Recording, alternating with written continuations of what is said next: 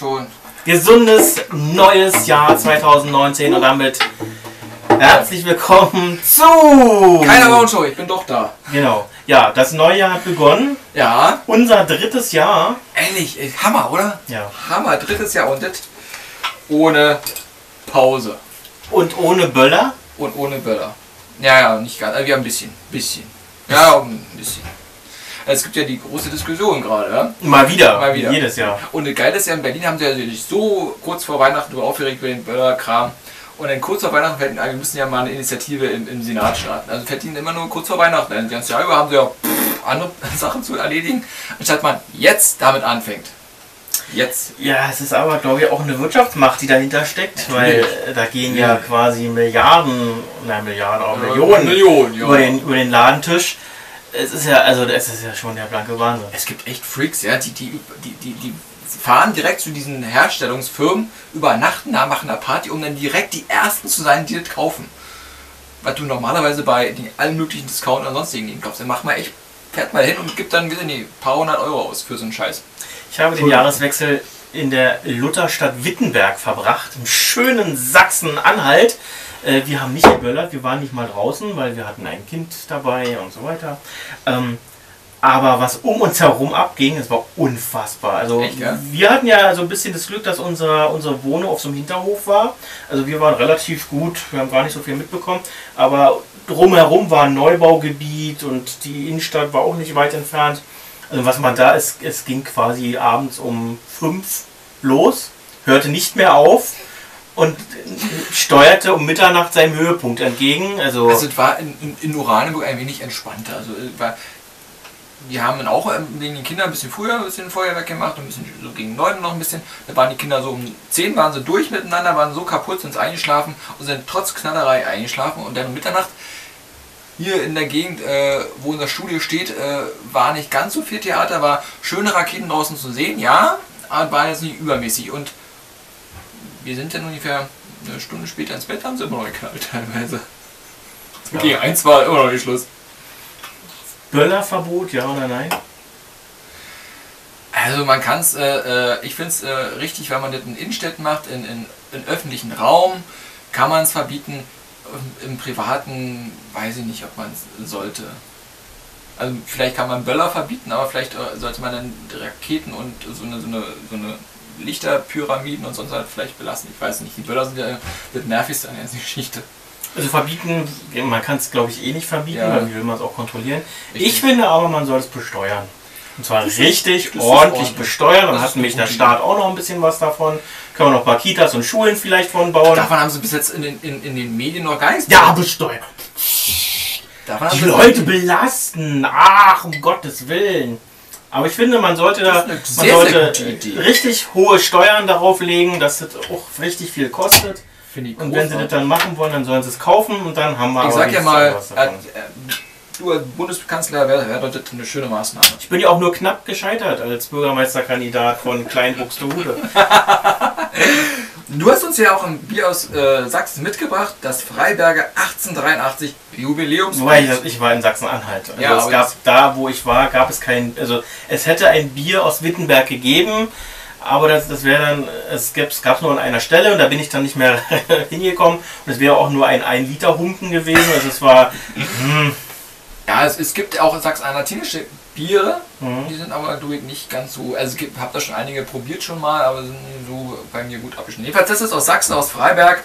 1863er Jubiläumspilz. Warum Jubiläumspilz? Äh, 1863 zum ersten Mal aus Freiburg ein Bier nach böhmischer Brauart. Eine Tradition, der wir mit einem Pilz gebraut nach Saatzer Hopfen und böhmischen Gerste ein Denkmal setzen. Freiberger drei- 1863. Ja, Damals vielleicht, wie ist, heute. äh, vielleicht Jubiläumsbier, vielleicht weil es vor Ge- sechs Jahren quasi war ja das 150 Jahre Jubiläum. Da wird es noch her sein, ja. Wahrscheinlich. Bestimmt. So alt ist es aber noch nicht, ja? Ist noch nie abgelaufen, ne? Ich hoffe nicht. Ne, 719. Super. Dann werden wir mal. Ich möchte darauf hinweisen, ich kaufe dir kein abgelaufenes Bier. Bei mir steht es halt so lange, ja. Für keine. Gucke mal. Sieht das schon mal richtig großartig aus. Perfekte Perlung. Es schäumt auch. Also ja, es schäumt richtig gut. Hat eine, schäumt fast eine, wie eine Brause. eine fluffige äh, Blume. Ja, also die, die Blume muss ich finde ich nicht so schön. Hat einen sehr zitronischen Geruch. Jetzt bin ich ja mal gespannt. Ich habe gerade statt Hopfig mild muffig mild gelesen.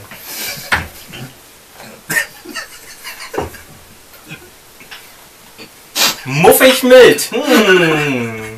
Also muffig schmeckt's nicht. Hat ein, ein, so eine, so eine, so eine Süßbitternis ne, am Anfang, die dann sehr, sehr sich ausbreitet, so in den orangen Grapefruit-Bereich. Ja, Kann man. ich glaube, das ist so, so, ein, so ein ideales Bier wirklich zum Mixen mit äh, Fruchtsäften und, und, und Brausen.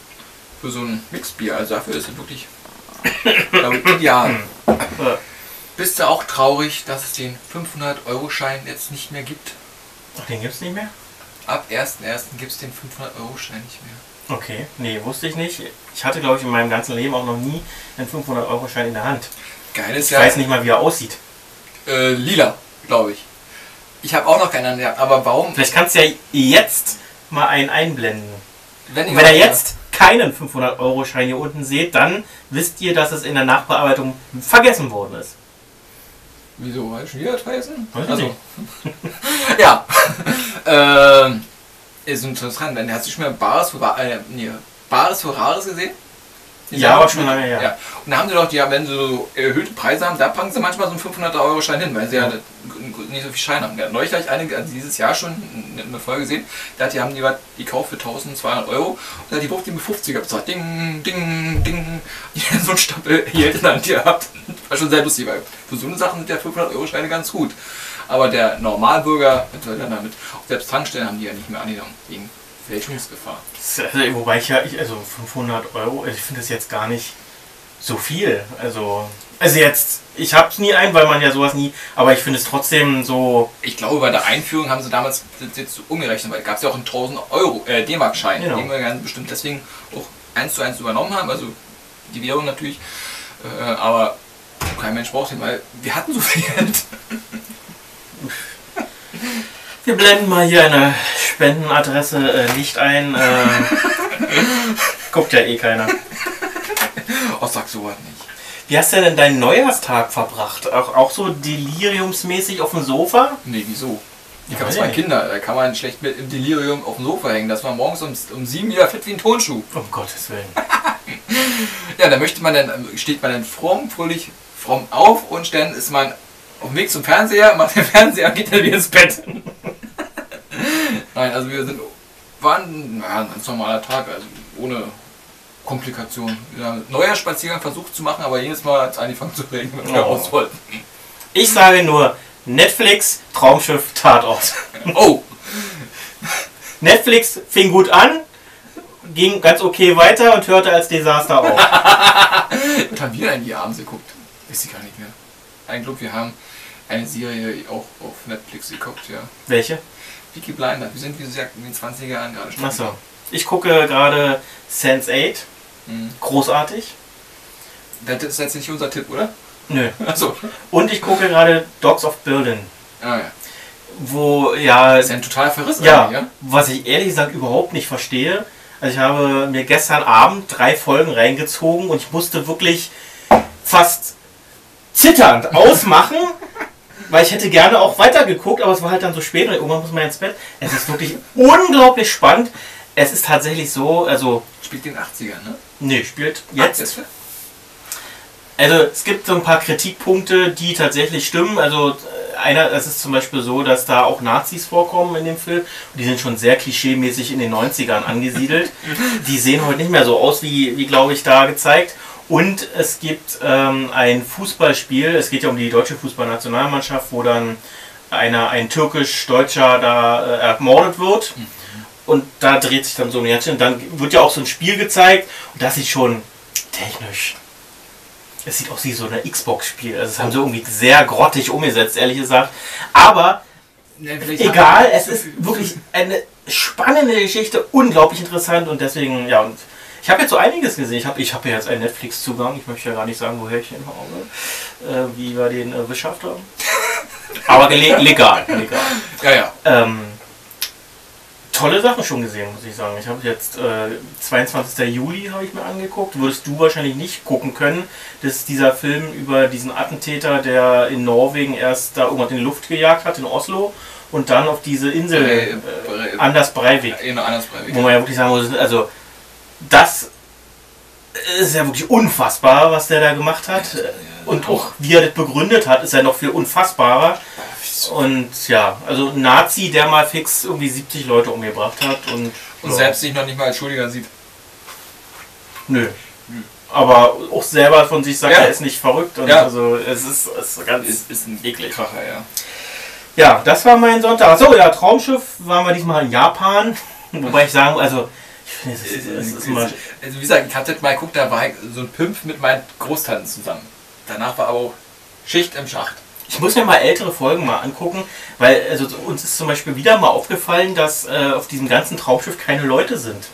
Also es sind immer nur die, die spielen, es ist nie, fast niemand mehr im Hintergrund. Aber es früher gibt wurde keine doch- Komparsen. Früher wurde doch das auf, äh, einer auf einer regulären Tour ja, heute auch noch angeblich.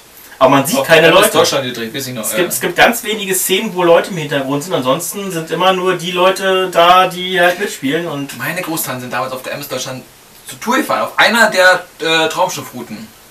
Wenn ich noch wüsste, welche, irgendwie im, Nor irgendwo im Norden irgendwo sind so geschippert. Und dann habe ich den schlechtesten Tatort seit langem gesehen, der höllische Heinz. Den wollte ich eigentlich gucken, Nein, hat aber meine, nicht. meine, meine Frau gesagt, wir gucken mal andere. Ja, hat, also deine Frau, muss ich sagen, hat da wirklich ganz gut reagiert. Der war so, also der war. Also ich glaube, dass der absolut- Weimar Tatort noch nie besonders gut war. Der versucht witzig zu sein, aber war bisher noch nie und hat auch beschissene, beschissene T also da, äh, Namen immer gehabt dafür. Irgendwie die. Der höllische Heinz. Ja, oder genau, wie letztes Mal war irgendwie äh, die Ententrude oder so was. Oder. Ja. Also die war.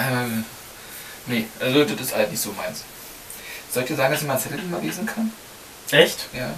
Ach, jetzt ist ja nun endlich auch Viva Geschichte. Ja. Haben sie nun endlich begraben und die ging ja wirklich sang- und klanglos. Und wumm. Wie sang und klanglos. Ja, ja, ja, ist so unspektakulär wirklich gewesen.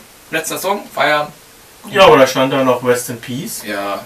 Ja, was sollen sie denn auch machen? Aber das Coole war wirklich, dass sie den, die Fantis nochmal genommen haben. Ja. Den ersten Song, den sie damals 93 gespielt haben, waren jedoch das letzte Mal nochmal drauf. Das war, war cool. Obwohl, also sie müssen da irgendein so YouTube-Dings abgespielt haben, weil die Tonqualität von diesem Song war unterirdisch. Vielleicht haben sie keine Rechte mehr dran gehabt. Also die haben Ach ja, die haben doch alle Musikclips garantiert in irgendeinem Archiv zu liegen. Also, GEMA, vielleicht haben sie all schon alle verkauft gehabt, sind schon geschlossen. Ach, weiß ich da nicht, ist mir völlig Wurst. Jedenfalls fand ich das schön, den alten Clip von den Fantis Ja. mal hier zu sehen. und dann war Schluss und dann fing Comedy Central an und Ja, das, das ist ist ja ja auch- das, also das muss ich sagen, ist ja wirklich ein Scheißsender. Ja, vor allem ist ja nur ein Abspiel von uralten Serien. Es ist ein Abschied von uralten Serien, da mal drei Folgen hiervon, drei Folgen davon, aber auch in keiner. Reihenfolge, ohne, Ohne Struktur. Struktur. Und was ich ja, wo ich ja denke, also die zeigen kein Vorspann, kein Abspann, sie zeigen nur das rohe Material quasi, wo ich mich ja auch frage, also wie muss man seine Leu seine Zuschauer hassen, also oder wie blöd hält man die Leute eigentlich und wie, wie viel Das ist- Wert legt man auf das, was man da zeigt? Gar nicht, also, gar keinen Wert, weil äh, im Endeffekt äh, das ist nur eine Überbrückung von Sendezeit. Ja, Nur weil denen ist es doch völlig Wurst, was läuft. Hauptsache, du schaltest mal kurz ein, die könnten ein bisschen Geld verdienen, ein bisschen Werbung schalten und weiter läuft, ist denen doch völlig Wurst. Ist, ist das nicht so ja Viacom, das was eigentlich früher äh, von, von ähm, TV und ist TV so ja, klar, deswegen ist ja der Kanal. Aber das ist wirklich knallhart. Also, wie gesagt, Das Einzige, und das wäre jetzt auch nicht mein Tipp, aber es gibt am Montag, glaube ich, schon einen Serienstart um 19 Uhr. Bei Comedy Central? Ja. Und zwar äh, Live in Pieces. Ich glaube, die kann sogar sein, dass die Serie schon mal vorgestellt hat. Die ist schon Ewigkeiten bei Amazon Prime zu sehen. Ist eine, ist eine Sitcom aus den USA, so eine Familienserie. Und das ist auch nochmal noch mal so eine richtig schöne Comedy-Familienserie. wenn es denn auch das, äh, gerade nicht läuft. ja, ich, ich gehe mal davon aus, dass das bei, bei Comedy Central als Resterampe da versendet wird, ist vielleicht ein bisschen schade, aber naja. Guckt So euch da an, wo es herkommt und dann ist gut. Ich wollte gerade sagen, also im Endeffekt macht da wirklich äh, in dem Sinne Fernsehen ja keinen Spaß, Nee. oder? Also tagsüber äh, halte ich mich, wenn ich mal Fernsehen gucke, wirklich nur noch bei den Doku-Kanälen auf oder bei MTV, äh, NTV oder Welt oder sonst so ein Kram. Nee, das kann ich auch nicht. Also wie gesagt, irgendwas, Ich, was- was ich, gucke ja, ich, ich, läuft gucke gar, ich gucke so gut wie gar kein normales Weil- Fernsehen mehr.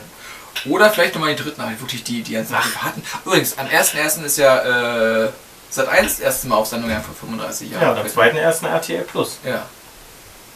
Mensch. Ähm, nee, ich gucke, ich gucke, ich gucke, ziehe mir alles aus den Mediatheken. Ich gucke nur noch, was lief denn so und gucke mir das alles. Oder ich habe, ich habe, äh, das habe ich ja auch einen Zettel zwischen ähm, vor 40 Jahren war ja der, ja der Katastrophenwinter Ja. 1978, 79 in, in, ja, doch in ganz Deutschland. Im Nord, sagen wir mal Ober, in Norddeutschland. Nee, in Nordmitteldeutschland. es, ja. es, äh, Im Laufe der Tage hat sich das bis zu den Alpen vorgearbeitet. Also es gab jetzt eine neue Doku im Ah, MDR, anderthalb Stunden, die ich auch tatsächlich schon vorher gucken konnte, weil ich schon in vorher in der war. Mediathek war. Und ähm, es gab ja schon mal eine Doku, die sie quasi seit 15 Jahren rauf und Ja. runter gesendet haben. Ja, ja. Die ist jetzt nochmal neu gewesen, wo sie auch nochmal neu recherchiert haben. Sehr interessant, wo sie auch mal grafisch und mit Animation gezeigt haben, was da eigentlich in der Luft und überhaupt passiert ist. Und es hat sich tatsächlich in den Tagen bis ganz nach unten, also die ganze DDR war betroffen Ja. und auch, äh, also eigentlich bis runter nach Bayern. Ähm, Stromausfälle und Stromabschaltungen, weil nicht genug Strom da war. Also das war alles sehr prekär. Ja, dazu gleich eine persönliche Geschichte. Ich war ja noch nicht zu dem Zeitpunkt auf der Welt, aber ich war ja im Bauch meiner Mutter und die war gerade auf dem Weg zur Silvesterparty nach Berlin in der S-Bahn. Was macht sie? Stecken bleiben. War schüchtern. Dann wurde es irgendwie dann rausgeholt und dann wurde nach Hause gefahren. Ja, ja, so ist es halt, ja. Mit dem Jahrhundertwinter. Mal gucken, ob der, ob noch dieses Jahr Winter wird. Jetzt Ja. ist wieder eher lau. Aber nochmal um aufs, um aufs Fernsehen. Also ich finde es schon krass, was Netflix da so alles hat. Und Wobei- auch welche Qualität es teilweise hat. Und auch, ich finde auch sehr viel besser, also sehr viel besseres, besseres Material als zum Beispiel Amazon Prime. Hat mir aufgefallen, dass wir heute wollten euch einen Kinderfilm gucken, den haben wir auch mal geguckt gehabt. Das war Der Prinz von Ägypten. Und den wollte äh, unser Kind nochmal gucken, da war er weg. Wie, Da war er raus aus der, aus der Mediathek da. Achso, ja, das ist, das, äh, bei, bei Fremdware es kommt es vor, dass sie dann na, also am Jahresende oder so die Das war Lizenz dann total nicht mehr schade. haben. War total schade. Aber war, es ist bei Amazon Prime ist es zum Beispiel so, da gibt es richtig so eine, so eine, so eine Rubrik, äh, nicht mehr lange verfügbar oder Aha. so. Und da siehst du dann, dass du dann demnächst, also da gibt es tatsächlich immer mal wieder sowas, dass sie dann die Rechte nicht permanent haben. ja, das war, war da, da war auch mein Kind aber dann bockig danach. Dann wollte unbedingt den Film gucken, den Prinz aus Ägypten und dann war nicht mehr zu finden. Und ich habe schon einen Hit. Du hast schon einen Hit. Dieses, ja, der ging tatsächlich auch am 1. Januar online. Äh, ich kannte den vorher nicht, aber das ist auch sowas. Ich gucke, mein, ich höre meine Musik quasi nur noch auf YouTube. Ich höre auch kaum, also immer weniger Radio und ich höre, habe meine Musik, meine Playlist, habe ich ja schon mehrmals erwähnt, auf YouTube und gucke auch sehr ähm, offensiv, was so an Neuigkeiten kommt. Es gibt ja immer diese Rubriken Neuigkeiten und Musik und so weiter. Da wird dann ja auch viel angezeigt, wenn man auch viel Musik guckt.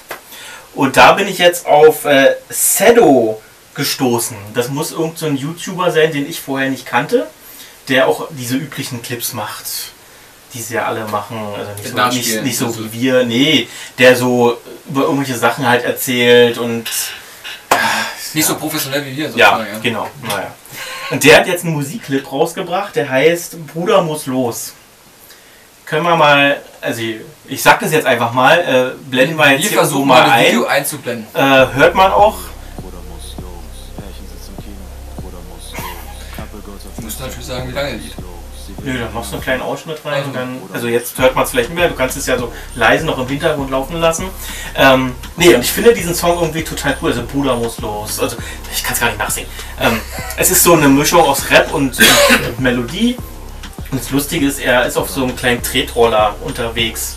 Das ist, also ich finde, ich finde, äh, wenn man es so das erste Mal hört, hm, aber dann fand ich es irgendwie total cool und ist für mich so der erste Hit 2019. Wohl. Ja, wir haben uns dann ähm, bei der Bearbeitung genauer mal angucken, das Ganze nicht. Das ist die Stichwort Musik, ich habe Musik mitgebracht. Diesmal etwas ähm, in Festform, und zwar Wallbeat. Was heißt denn Festform? Ja, diesmal eine CD wieder. Also das Ach so. haben wir öfter mal nur äh, in digitaler Version. Also wir werden ja bemustert, kann man ja mal so sagen. Und erstmal haben wir auch eine CD zugeschickt bekommen, beziehungsweise eine CD, beziehungsweise DVD. Das ist ein schönes Paket, Wallbeat, Let's Boogie, live vom Telia Parken. Das ist ein Live-Konzert 2017 von der Band Wallbeat im Stadion in Dänemark. War, ich glaube, 50.000 haben da reingepasst. Und äh, da spielen sie wirklich alles, was sie in den letzten 15 Jahren so. Ich knarre hier immer, wenn du das mal aufhörst. Doch. Das ist. Das ist der Hocker. Vielleicht soll ich mal den mal austauschen. Willst du den vielleicht mal haben? Nein. Kannst ja vielleicht mal ölen oder so. Ölen. Ein Stuhl. Weiß ich doch nicht. Hast du schon mal. Bitte in die Kommentare mal schreiben, ob man einen Stuhl ölen kann. Ja, bitte. Kann ich jetzt weiter erzählen? Also, wie gesagt, Wohlbeat, eine großartige Rockabilly-Metal-Band aus Dänemark und Michael Pausen. Haben jetzt schon einige Alben am Start gebracht, sogar schon Live-Alben und seit dem letzten Album, Live-Album äh, Live at Beyond Heaven and äh, Beyond Hell, äh, ist dieses ähm, schöne Live-Dokument erschienen. Ein unfassbares Gutes. Die letzten Alben waren nicht so der Knaller von Wohlbeat, aber diese Live-DVD-Doppel-CD ist der Hammer. Mit illustren Gästen wie von Mille von Creator oder Barney von, von Napalm Death oder auch Lars Ulrich von Metallica. Ja, auch dieser war dabei. Er ist ja auch äh, gebürtiger Däne. Ich dachte kurz an Jan. Nee, nee, der nicht. Diesmal nicht. Äh, wirklich, äh, was cool ist, wirklich, äh, dass sie halt äh, die Stücke, was sie auf Platte nicht so gut hinkriegen, auch Radio, die sind ja radiotauglicher, Mainstream-tauglicher geworden und hier auf dem Konzert bringen sie wirklich das Album ein bisschen straffer, ein bisschen härter, ein bisschen schneller.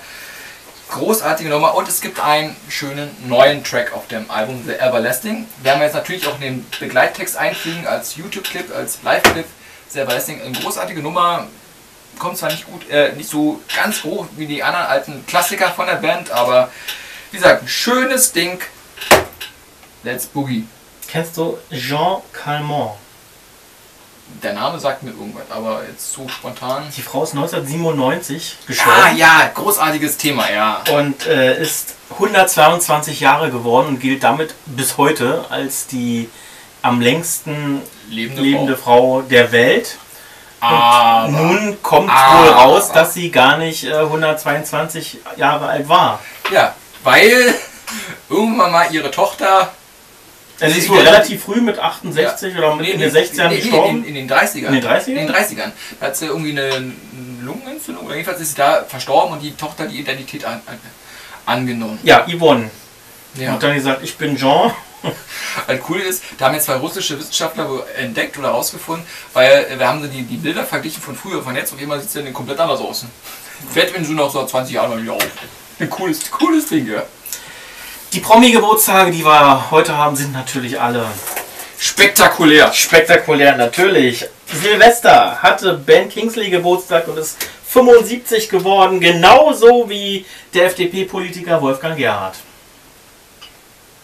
Fangen wir mit, äh, ähm, dann hab ich, dann, was habe ich denn hier noch? Äh, Montag habe ich nichts, Dienstag habe ich nichts, Mittwoch habe ich nichts, äh, Donnerstag habe ich unseren Schumi. Michael Schumacher ist 50 geworden und ja, was, was soll man sagen? Also, Lebende Legende, ähm, ist aufgrund seines Unfalls nicht mehr in der Öffentlichkeit, auch das ist gut so und dass es auch nichts außen, nach außen dringt, finde ich gut, auch wenn man sich natürlich immer fragt, wie geht's ihm, aber ich finde es gut, dass, dass die Familie sich so bedeckt hält. Das ist eine, es gab eine sehr, sehr gute Doku am ja, Donnerstag. zu seinem Geburtstag. Im Ja. ersten Nachmittags. Hätte man auch abends zeigen können, sag ich mal. Aber lief halt nach Mittag. Ähm, fand ich sehr spannend. Der nochmal auf sein Leben zu und dann auch Ja. nochmal auf den Unfall eingegangen. Also, ja. Vor allem mittlerweile hat er seinen Sohn, ist ja, äh, steigt Ja. ja. mittlerweile hoch, ne, als Rennfahrer, großartig. Am Neujahrstag 45 geworden, Marco Schreil. Nee, War- da extra ausgelassen, weil du die nimmst. Ja, war ja DSDS-Moderator, ist ja gestern auch wieder angelaufen, also nicht mit ihm als Moderator, Ach, echt? aber Ja, ja, schon, ja. 16. Staffel. Und inzwischen ist er, ich glaube, er macht im er macht so Dritten. Reisesendungen Im dritten im dritten Programm, ja. Hat glaube ich ein Quiz im WDR und ist Radiomoderator im Hessischen Rundfunk, glaube ich auch noch. Ja, das ist doch eine gute Karriere, würde ich mal sagen. Am Samstag, Schockrocker Marilyn Manson ist auch 50 geworden, aber mittlerweile ist nicht mehr viel mit Schock, sondern abgefragt. Der sieht doch, finde ich, aus wie 70. Ja, ja, furchtbarer Typ. Ähm, am Freitag, herzlich willkommen, äh, willkommen im Club der 40er, Kevin Kuske, Bobfahrer. Habe ich getroffen letztes Jahr in der Grundschule in Bötzow, hat er, habe ich seine Medaille mir angucken dürfen. Sehr sympathischer Typ, äh, mächtig muskelbepackt natürlich und ich weiß gar nicht, ob der, ich, ob der noch aktiv ist, ehrlich gesagt, aber ja, Ich hab keine 40 Ahnung, geworden jedenfalls. Dann großes äh, Idol von mir, sag ich mal. Also ich liebe die total. Judy Winter 75! ist Ah, ja am Freitag 75 geworden. Ich finde die Frau großartig. Also ich finde eine wahnsinnige Ausstrahlung, ja. eine wahnsinnige Ausstrahlung, eine unfassbare Stimme. Ja. Mit Und 75 noch, auch ja. wie sie spielt. Und also ich habe, ich hab, glaube ich, letztes Jahr eine Doku über sie gesehen. Ähm, nicht eine Doku, es gibt diese Reihe im SWR. Krause übernachtet bei irgendjemandem, Ja. also äh, Pierre M. Krause, und da war er bei Judy Winter und ist eine so sympathische Frau und mit ihren 75 doch immer so wahnsinnig gut drauf. Also. Ja.